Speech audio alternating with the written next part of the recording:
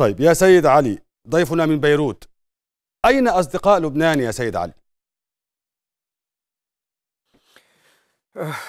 بداية تحياتي لك أستاذ محمد ولضيفيك العزيزين وللمشاهدين الكرام. آه يعني لبنان ببساطة آه يجب أن يساعد نفسه حتى يمكن أن يستطيع أن يتقبل أو آه آه مساعدة الآخرين. بالتالي الأزمة لا شك أنها ترتبط في الشكل.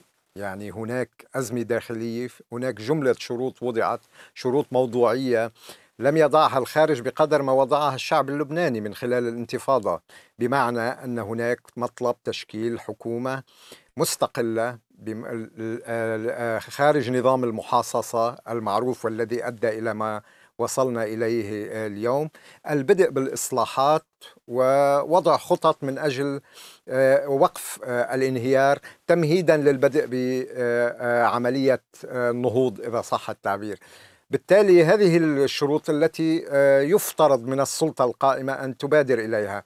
ما نراه اليوم في الشكل أيضا أن هناك مشكلة.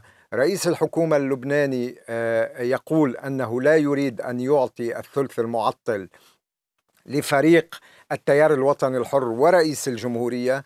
ورئيس الجمهورية بطبيعة الحال يصر على فكرة أو الفريق وصهره جبران باسيل والتيار الوطني الحر على الثلث المعطل. لا يمكن يعني الاقتناع بأن هناك فعلا المشكلة تكمن هنا.